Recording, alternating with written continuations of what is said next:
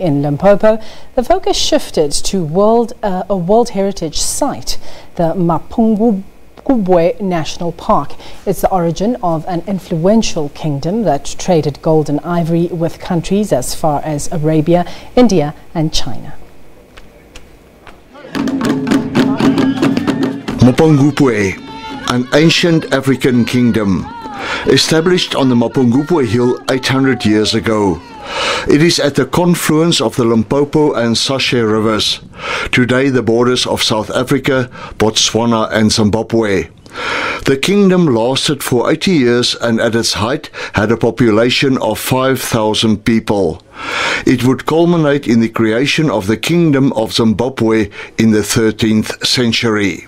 And wherever you go in Mapungubwe National Park, it feels like you are walking on this ancestral grounds it gives you goosebumps if you walk in Mapungubwe. So you've got the biodiversity, you've got the confluence where the three countries meet, Botswana, South Africa and Zimbabwe, and on top of all of that, you are sitting with Mapungubwe National Park, which carries the highest order of South Africa, which is the Order of Mapungubwe. About 50 people, including the king, his wives, servants, and guards, lived on the top of the hill.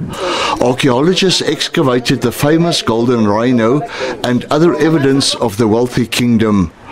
Artifacts are kept in a museum.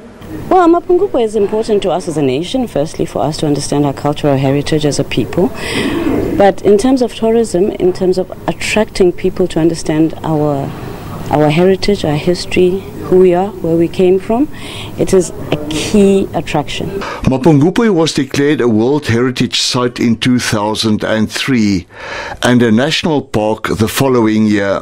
The empire of the people of the sun is where all the different tribes in southern Africa dispersed and they believed in the queen and son of heaven called Muali or Mohali.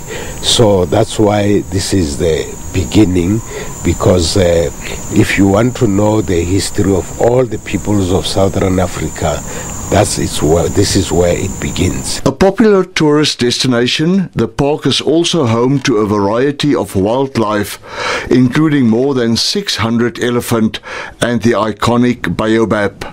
Philip van der Walt, SABC News, Mapungubwe.